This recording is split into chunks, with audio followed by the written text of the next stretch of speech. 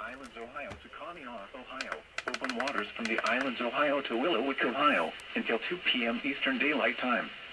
At 12.35 p.m. Eastern Daylight Time, severe thunderstorms capable of producing waterspouts were located along a line extending from near Conneaut to near Fairport Harbor to Lorain Harbor, moving east at 10 knots. Hazard, waterspouts. Source, radar. Impact, waterspouts can easily overturn boats and create locally hazardous seas. Locations impacted include Western Vermilion, Geneva on the Lake, Avon Point, Willowick, Fairport Harbor, Lorain Harbor, Vermilion, Huron, Ashtabula, Conneaut, and Cleveland. Thunderstorms can produce sudden waterspouts. Waterspouts can easily overturn boats and create locally hazardous seas. Seek safe harbor immediately.